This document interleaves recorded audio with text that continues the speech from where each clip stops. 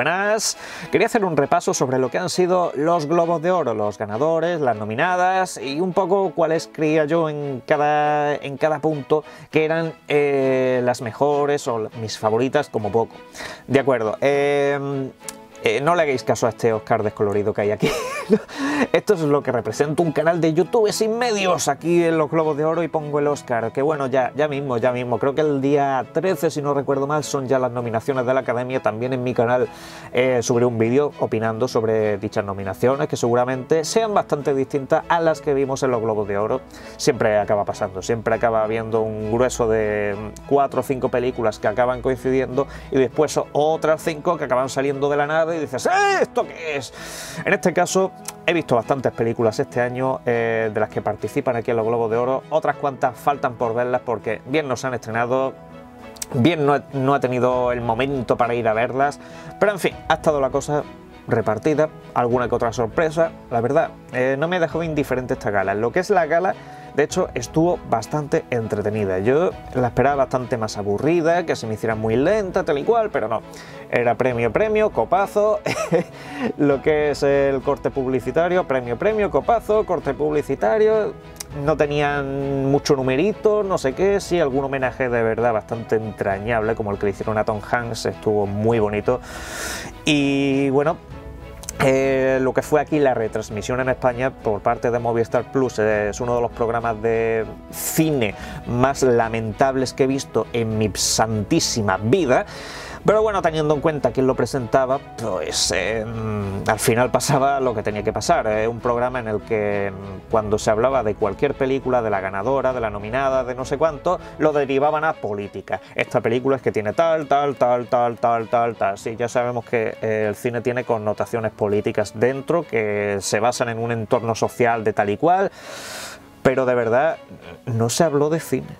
No, no se habló de cine se hablaba de política, eh, lo hace muy bien porque está inmersa en un clima social que no sé qué, aquel pues es un justo ganador porque me parece que representa a la clase no sé cuánto, y digo, pero ¿qué es esto? ¿Qué es esto? Algunos ya me saltará irritado cada vez que digo una cosa de estas, pero es, es algo tan sencillo, es que me da igual la rama política. Eh, yo no es por rama política, yo sencillamente que en un programa de cine se pongan a hablar de política. Encendéis la tele a todas horas y lo que tenéis es política, política, política, política. Vais a ver un programa de cine y política y digo, me cago en la leche, tío. Centraros que estáis en los globos de oro. Hablad de cine por un día al año, porque en los Oscars ya sabemos que ahí no se habla de cine, ahí se habla de otras cosas, están a otro tema. A mí me han decepcionado muchísimo los últimos años y ahora pues parece que los globos de oro van a derivar en eso, al menos en lo que es, insisto, la programación aquí en España. Y luego, pues lo que es la gala en sí, pues estuvo bastante calmada en ese sentido. A mí la, gala, insisto en ello, me pareció entretenida, estuvo bien, centrada en el cine, muchos homenajes y tal. Ahí, estupendo. Voy directo a lo que es el repaso, ¿vale? Eh, lo que fue la mejor película dramática. Fue 1917, eh, una película que creo que se estrena esta semana aquí en España. Yo eh, nada más pueda hago una review aquí en el canal, seguramente si se estrena esta semana, pues el mismo día de, estreno, al día siguiente, seguramente puedo hacer un vídeo crítica. La película pinta estupenda, película dirigida por Sam Mendes.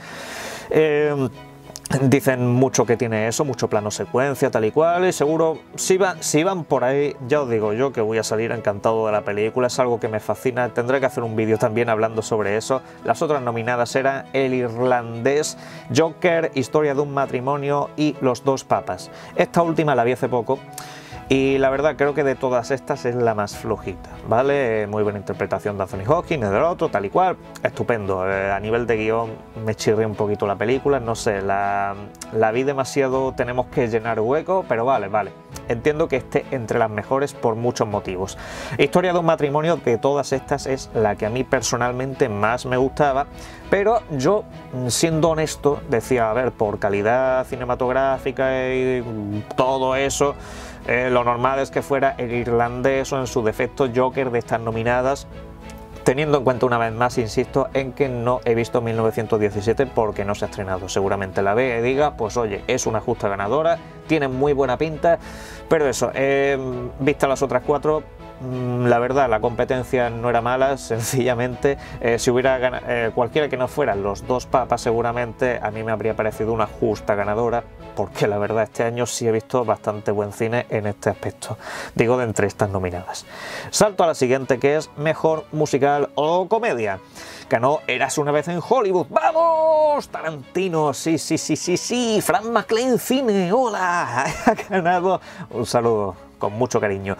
Ha ganado pues la película de Tarantino que ya se va postulando, se va postulando como una firme candidata a los Oscars. Yo directamente lo digo aquí en este vídeo, no creo que lo gane porque por ese tipo de gamberrismo que que tiene Tarantino en su cine y suele tirar mucho para atrás a los académicos, pero bueno, por ahí queda la cosa, es una película que, está muy bien en todo, yo lo dije en la crítica, y algunas cosas que mm, la, hacen un poquito pesada, hay gente que no traga por el tipo de, narrativa que tiene, pero bueno, dentro de lo que había, pues estaban puñales por la espalda, yo, yo Rabbit, eh, yo soy Dolemite, que no la he visto, Rocketman. Rocketman, em, a ver, me pareció una buena película.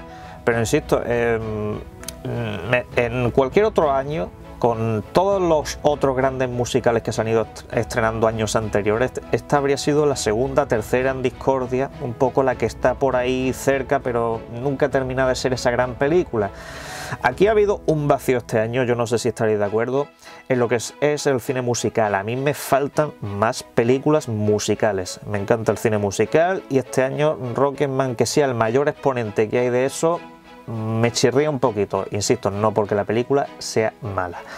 De acuerdo, aquí los premios más importantes y luego viene lo que es Mejor Actriz Drama, que se lo llevó René Zellweger, que bueno, ojalá, ojalá esté más presente en el cine de lo que lo ha estado últimamente, porque para, mí es una maravillosa actriz. Yo aquí se lo había dado a Scarlett Johansson por Historia de un matrimonio, que me parece que bordó un papel espléndido. Eh, y hasta posible que los premios Oscar se lo acabe llevando. No sé, porque suelen variar bastante en este premio. En los secundarios no tanto, pero los principales suelen variar bastante de lo que son los Globos de Oro a los Oscars.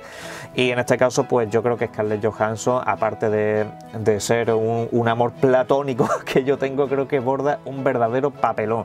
También estaba Charlize Theron, Cynthia Elviro, bueno... Yo creo que sí, efectivamente René Zellweger perfectamente una digna ganadora. Mejor actor drama, eh, Joaquín Phoenix por Joker. Eh, no, no, es digamos la mayor sorpresa del año. Eh, decían muchas quinielas que el favorito era Adam Driver y tal y cual. Aquí digo una cosa.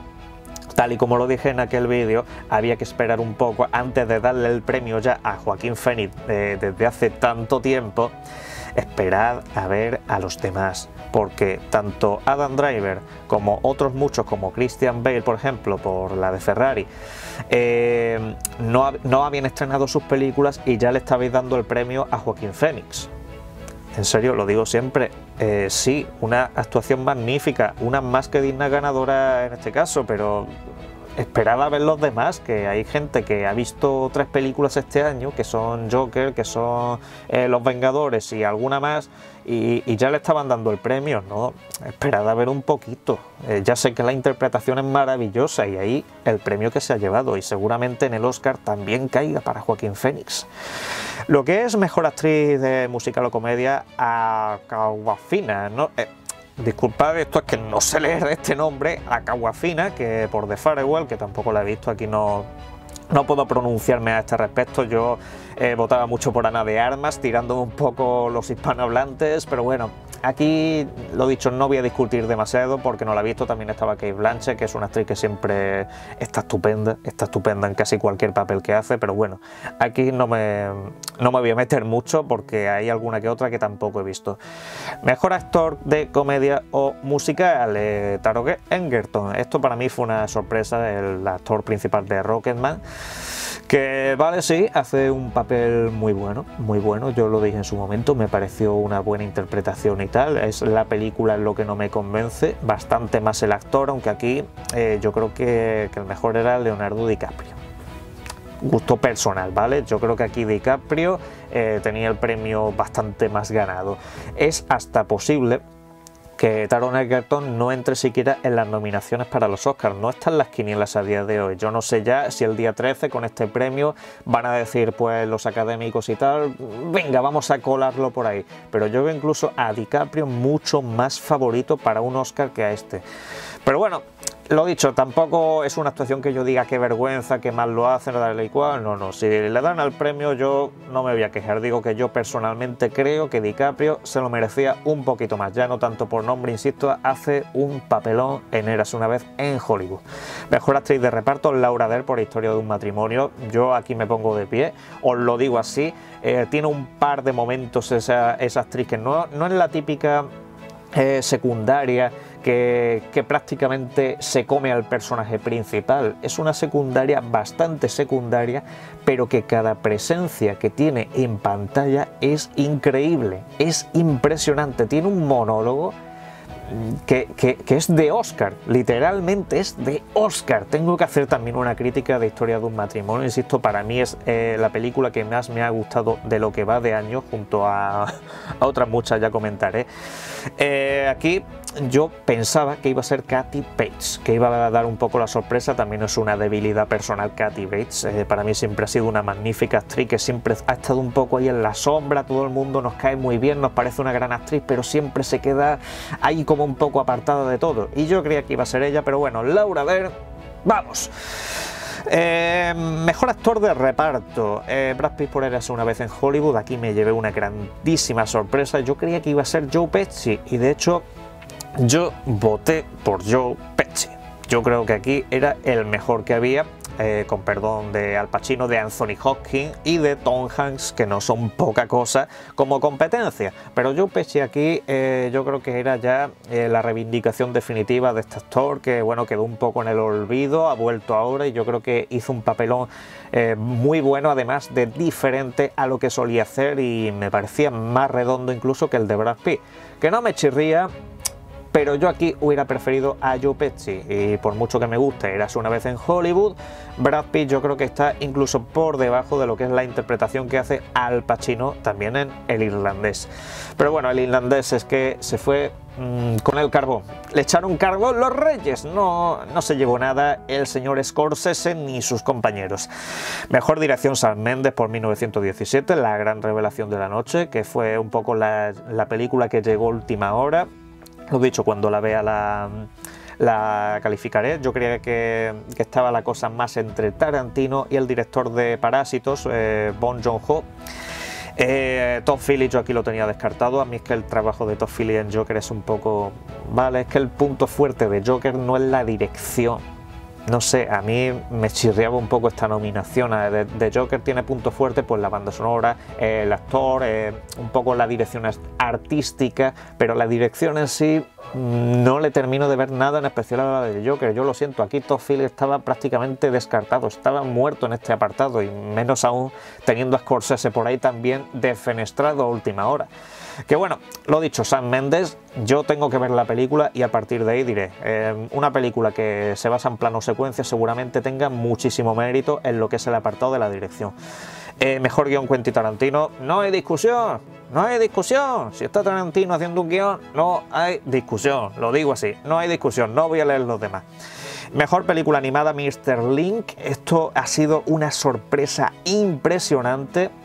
Eh, teniendo en cuenta que tenemos a Disney, a Disney, a Disney y la de cómo entrenar a tu dragón 3, que DreamWorks, que siempre suele apostar muy fuerte, siempre suele tener mucho tirón, pues ha ganado la menos favorita de todas. Mm, me gusta, lo digo sinceramente, me gusta. De todas estas, seguramente, eh, bueno, me gusta mucho menos el Rey León. Oh, vamos a ver, vamos a ver, el Rey León. No decían algunos que eso no es una película de animación, que es un like action. ¿Por qué está nominada mejor película animada? ¿Qué ha pasado aquí? Eh, mi favorita de aquí era Toy Story 4, pero con diferencia. Os lo digo así, con diferencia. Entiendo que reinciden muchas cosas y todo eso, pero a mí personalmente me encantó la película, me encantó. Y luego, mejor película en idioma extranjero, Parásitos, la grandísima favorita. Digo, a ver, bueno, quizá caiga Dolor y Gloria, de Los Miserables también se hablaba mucho, pero Parásitos al final ha sido eh, la grandísima triunfadora, pero este año se lo está llevando todo de calle, se llevará seguramente también el Oscar a Mejor Película Extranjera con todo merecimiento. Aquí, si no recuerdo mal, la va a editar La Aventura Audiovisual eh, este mismo mes, creo, no sé, no sé, ahora mismo no caigo, pero eso va a ser lo más grande, tener otra vez de nuevo a La Aventura Audiovisual editando cine y que nos traiga esa película, Parásitos. Mejor banda sonora, Joker, a ver, eh, yo aquí lo tenía más claro, yo aquí creía que iba a ser eh, historia de un matrimonio, yo cuando escucho esa banda sonora digo, bueno, esta es película de vengo a recoger mi premio a banda sonora. Eh, me falta, insisto, la de 1917, no he escuchado esa banda sonora, también estaba The Splat por Mujercitas, que suele ser también un seguro en este sentido, y ganó Joker, que digo, bueno, vale, la verdad que la banda sonora es pegadiza, está muy bien, no está mal escogida, yo qué sé, no me termina de convencer quizá para este premio, pero bueno, no me voy a quejar porque insisto de Joker que es uno de sus puntos fuertes, la banda sonora igual que la dirección artística y la interpretación. ¿Que lo gana? Pues perfecto, yo quería, sinceramente yo lo daba por ganado, historia de un matrimonio, pero bueno. Mejor canción original, eh, la del Elton John de Rocketman, I Gonna Love Me Again. Eh, yo aquí eh, apostaba muchísimo por esta. Pero sabéis que yo era, yo era de los que quería sangre, yo era de los que quería que la ganara la de Cats. Quería que ganara esa sencillamente para ver la que se podía liar con todo lo que le ha caído esa película. Digo, ojalá gane el premio de banda sonora y eso estalle de ira, es increíble. Más de uno diciendo cómo es posible que Cats haya llegado a tener una nominación a algo. Bueno, lo que es mejor canción he dicho en vez de banda sonora. Vale. Eh, mejor serie dramática, Subsection. Eh, yo aquí apostaba por Big Little Lies, pero bueno, me han dicho que esta serie está muy bien. Yo a partir de aquí es cuando ya digo que hay muy poca cosa que he visto a nivel de series este año y me dicen que esta es una de las grandes revelaciones y estando HBO detrás, eh, yo lo que tengo que hacer es callarme y verla porque siempre suelen sorprenderme y para bien. Mejor actriz de serie dramática, Olivia Colman por The Crown. Em, yo aquí también apostaba por eh, lo que es Race Witherspoon, que era un poco la favorita, pero la verdad que Olivia Colman, si algo es que me encantó en la favorita, para mí es una pedazo de actriz, de las mejores que tenemos en el panorama actual y también está un poco, es como esa Katy Bates, está un poco ahí, pero no le terminan de, hacer caso y aún así ahí está siempre presente. Yo creo que en los Oscars, cuidado con esta, que, digo en los Oscars, en los premios de la televisión los próximos años, tener cuidado que, va, va que ni pintada. Y bueno, los premios de cine también, porque si Olivia Colman sigue en ese ritmo, de verdad que se va a llevar unos cuantos. Es una pedazo de actriz y no se le está haciendo muchísimo caso. Eh, mejor actor de serie dramática, Brian Cox por eh, Succession. Eh, lo mismo, esta serie mm, parece que es lo más grande de últimamente. Mejor serie comedia musical, Freya Black. Ya digo, aquí totalmente perdido actriz de serie comedia fue bien, no sé qué, yo lo siento, esto apartado ya eh, me pierdo completamente. Eh, lo que sí eh, tenía claro era que mejor serie limitada o miniserie iba a ser Chernobyl. Eso es que no parece que es que no tiene rival, directamente está considerada una de las mejores series de la historia, de las miniseries es la mejor puntuada en todas las webs, así que bueno, poca discusión. mejor actriz Michelle Williams por eh, no sé qué. Yo a partir de aquí ya Russell Crowe también se llevó el premio por Showtime, que la verdad es una serie curiosa, una serie bastante curiosa. Y además que Russell Crowe para mí es un actor de los más entrañables que hemos tenido en la historia del cine. Y la verdad que me alegro mucho por él, parece que está muy bien caracterizado, competía con Jared Harris de Chernobyl. Y bueno, ahí ha acabado triunfando. Y en fin, no voy a leer mucho más porque... Eh, Insisto, en los demás premios de televisión yo ya estoy un poco más perdido. Os dejo que en la caja de comentarios dejéis vuestras impresiones sobre, sobre estos globos de oro. ¿Cuáles creéis que van a ser eh, las favoritas para los Oscars? ¿Cuáles creéis que van a ganar después de tantas sorpresas que nos hemos llevado en estos premios? Dejo que lo debatáis y que disfrutéis mucho del cine. Un saludo.